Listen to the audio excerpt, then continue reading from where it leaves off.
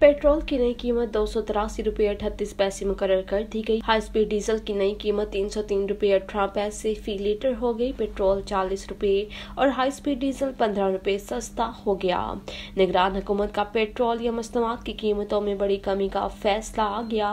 वफाकी हुकूमत के जारी करदा नोटिफिकेशन के मुताबिक पेट्रोल की कीमत में चालीस रूपए फ़ी लीटर कमी का फैसला किया गया है, जबकि डीजल की कीमत में पंद्रह रूपए फ़ी लीटर कमी का फैसला किया गया। मट्टी के तेल की कीमत में बाईस रुपये तैतालीस पैसे फ़ी लीटर कमी कर दी गई है। पेट्रोल, डीजल और कैरोसिन ऑयल की नई कीमतों का इतलाक आज रात बारह बजे से हो गया है।